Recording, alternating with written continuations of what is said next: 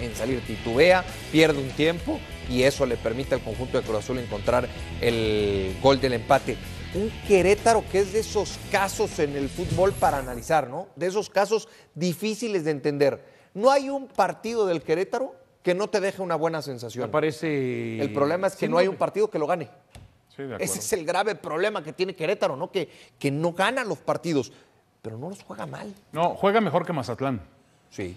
Eso es evidente. Juega ma- Y además hay que recordar que ha, ha pasado por un tema muy grave de no Bueno, tener acaba- público en el estadio. bueno, ¿no? acaba de regresar, Un año terrible, un Sí, año sí, sí, sí. infame, ¿no? Ahora- es un equipo en venta aparentemente, eh, lo quiere mantener en la plaza, hay otras ofertas, todo eso es incertidumbre para el futbolista. Sí, es un equipo. Lo han hecho muy bien, ¿eh? Sí, es un equipo muy golpeado, esa es la verdad, ¿no? Y a veces da la impresión de que abandonado, no sé si por lo mismo de que lo quieran este, hasta vender. Ahora, decía Mao el tema de Aquila Alcalá, sí, pero también sobre el final del partido, en una muy parecida al segundo gol de Cruz Azul, también termina sacando y evitando la caída de Querétaro, como también segundos antes evitó también Corona lo que pudo haber sido la, haber sido la victoria de Querétaro o la derrota para, para Cruz Azul. Llevando el tema hacia Cruz Azul, a ver, realmente lo estaba ganando con muy poco porque sí eran intenciones buenas, pero no llegaba con claridad, no era profundo. Y en el segundo tiempo, yo me atrevo a decir que Querétaro lo terminó superando. Sí, ahora, profe Mario Carrillo, Señor. ¿a qué aspira este Cruz Azul? Eh, hoy, por ejemplo, le llegaron mucho, le llegaron mucho y muy claro. Y eh, no ha sido muy profundo, estoy de acuerdo con Dionisio, no ha sido muy profundo, pero este equipo ha priorizado la solidez y, y buscar el contraataque. Eh, le ha buscado, ahora lo hizo con Lotti, lo hizo bastante bien en el segundo tiempo. Eh, ¿A qué aspira? Eh, yo creo los primeros 10, va a entrar seguramente a repechaje. Pues al repechaje. Sí, seguro, sin duda. Va bien, tiene buen equipo para eso. Eh, no tiene gane, no tiene por sí mismo el decir, hoy voy a ganar un partido, no lo tiene. No. No lo tiene. Aparentemente está, El calendario, David. sí, bien complicado, ¿no? En Pachuca, en León. Es- que es el sábado, ¿verdad? Sí, sí, sí, Luego va contra el América en el Clásico en el Azteca, va a Guadalajara con Chivas y cierra con Santos en el Azteca. Muchos dicen que ya Mauricio Ricardo Ferretti está preparando el próximo torneo. Sí, pero sería un error, y esto yo lo establecí desde que fue presentado Ricardo Ferretti, sería un error pensar que este Cruz Azul no le sea, alcanza la para toalla, estar no. en el repechaje. Claro, tirar la toalla. Plantel tiene, ¿no es el mejor? No, no es el mejor. Por supuesto que necesita todavía de algunos refuerzos, necesita apuntalar ciertas líneas. Yo lo sigo viendo muy frágil en defensa. Utiliza a Juan Escobar como central cuando creo yo que a Juan Escobar le puede sacar mayor provecho como lateral por derecha. Ramiro Funes Mori ha quedado de ver y muchísimo en Cruz Azul y necesita un centro delantero. Y hoy vemos que arranca con Rivero como lateral por derecha y con el Cata Domínguez, que hace mucho tiempo jugó ahí por el, como lateral por izquierda, pero después también lo pusieron como lateral por derecha. A mí, a mí, a mi entender, o por lo menos de lo que yo he visto de los rendimientos de cada uno en algún momento, yo me la quedaba o con el Cata como central y recorrer a Escobar como derecha y respetar a Rivero por izquierda, que lo ha hecho muy bien también, ¿no? Sí, lo que, va- lo que, a lo que aspira Cruz Azul, yo creo que mm, en este torneo es a terminar entre los ocho primeros y recibir en casa una reclasificación. Sí, sí, sí, y sí, meterse a liguilla, ¿no? Matemáticamente está a cuatro puntos, ¿no? De asegurar repechaje. Sí, sí, sí, no, de acuerdo. Está, en este momento tiene 17 puntos, ya completó sus 12 partidos, ya está igual que los demás, 17 puntos, le sigue el Guadalajara con 21 y Tigres con 21, eh, y abajo tiene a Santos será- con 15, ¿no? Será importante dentro de eso que estableces, este, David, de en qué, en qué lugar va a quedar Cruz Azul para recibir el repechaje. Porque no es lo mismo quedar en el No, quinto que quedar en el octavo. No, si queda en el octavo y se da todo, aparentemente la lógica, pasa quinto, sexto, séptimo y octavo, Cruz Azul tendrá que enfrentar al líder de la competencia. Y al líder de la competencia, Bueno, pero a sobre ver, todo ver, que ver, es Monterrey, pero y se ve complicado. por- ¿eh? Pero date por bien servido inicialmente que Cruz Azul reciba la reclasificación en casa. Yo creo que es el objetivo Bueno, pero, si lo pone, si, si queda en octavo, yo nada más Bueno, estoy estableciendo. partido. Por eso, esa partido. Pero yo te estoy estableciendo la dificultad que pudiera encontrar Cruz bien, Azul pero no puedes- si no queda ver. en el quinto y queda en el octavo. Con todo respeto, Dionisio, ¿Cómo que no ¿está, podemos está- qué? está para campeón Cruz Azul? Bueno, para campeón no, ¿Está pero, para ganar pero mientras, mientras más fácil o mientras menos complicado te hagas el camino, pues será mejor para Cruz Azul. Sí.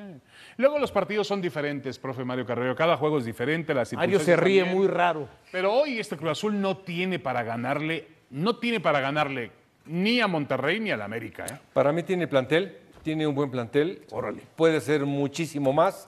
Hoy, por ejemplo, le llegaron muy fácil y no tuvo profundidad. Esa es la realidad. Ese es el Tuca Ferretti, ese es este equipo. Eh, yo creo que en repechaje perfectamente y el octavo, pues por supuesto que se va a enfrentar a Monterrey, que es el, el más sólido que creo que quede Monterrey. ¿no? Otro gol a pelota parada, Mario. Sí. ¿no? Ya le había sucedido contra Mazatlán, le vuelve a pasar el día de hoy contra, contra Querétaro.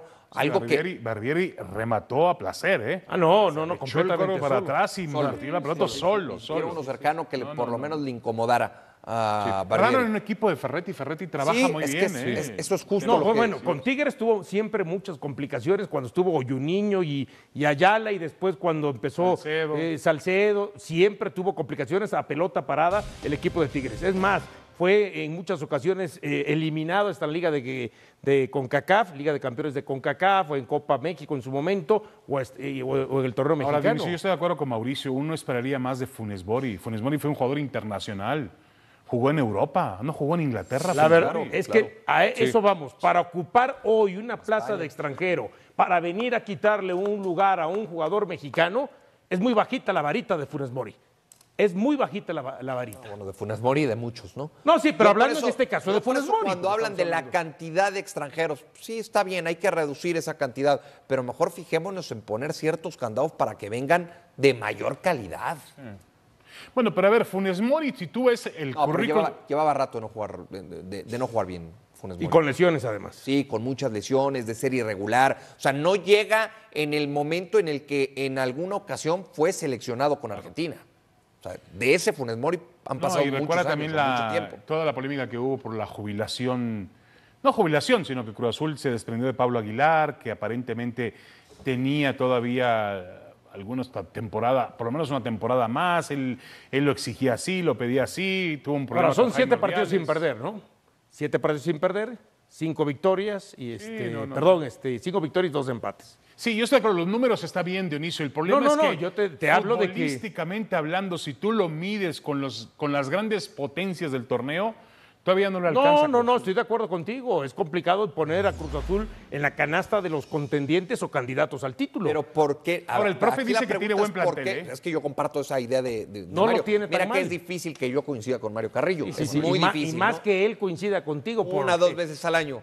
Pero bueno, esta es una de ellas. porque no te Ahora, lleva de auxiliar técnico. ¿eh? No, no, no, jamás. No, nos pelearíamos. Y, y como directivo no lo tendría de técnico. Nos pelearíamos al- al- al- a las y dos tú me correrías cada semana.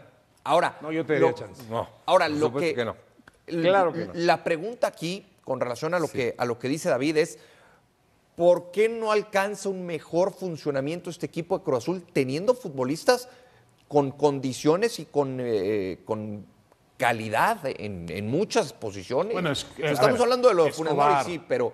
Eh, el propio Rivero, son futbolistas de primer. Bueno, empecemos por Corona, empecemos por Corona. Sigue siendo confiable. Sigue siendo confiable. Yo no sé el Cata Domínguez si sus mejores días ya pasaron.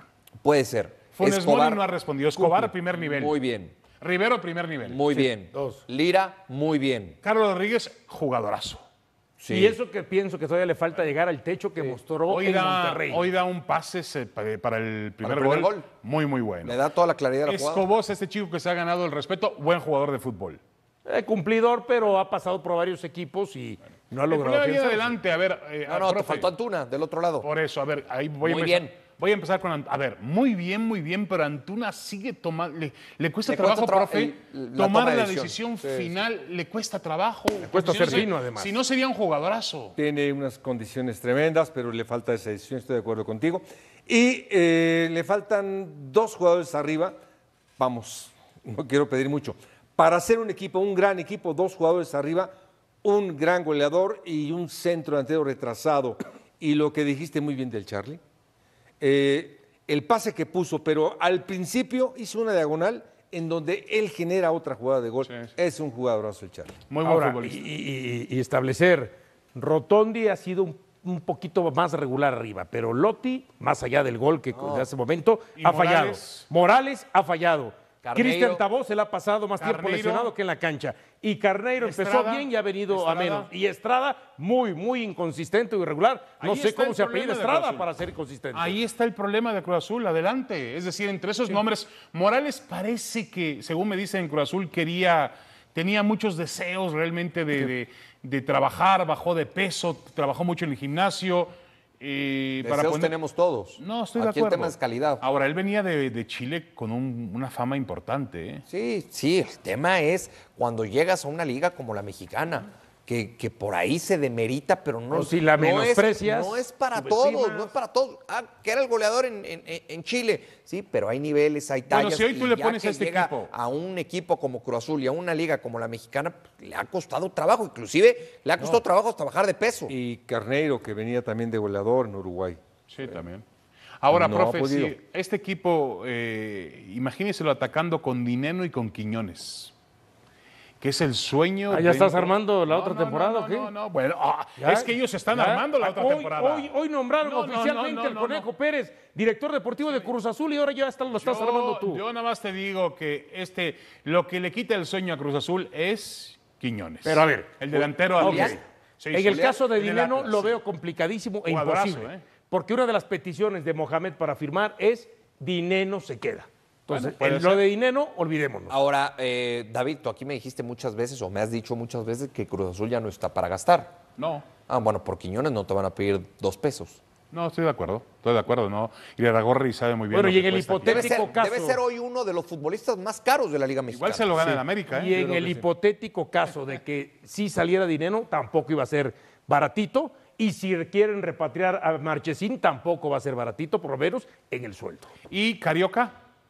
Mm, mucho menos, porque también sonaba Carioca y más que no ha renovado. No No, no, pero yo creo, yo creo que Carioca sí tiene posibilidades de llegar a Cruz Azul. Pero no es baratito tampoco. En, ¿eh? en el salario. Lo que pasa es que él quería tres años de contrato con Tigres, si no mal sí, recuerdo. sí. ¿no? Y Tigres le ofrecía dos, aparentemente.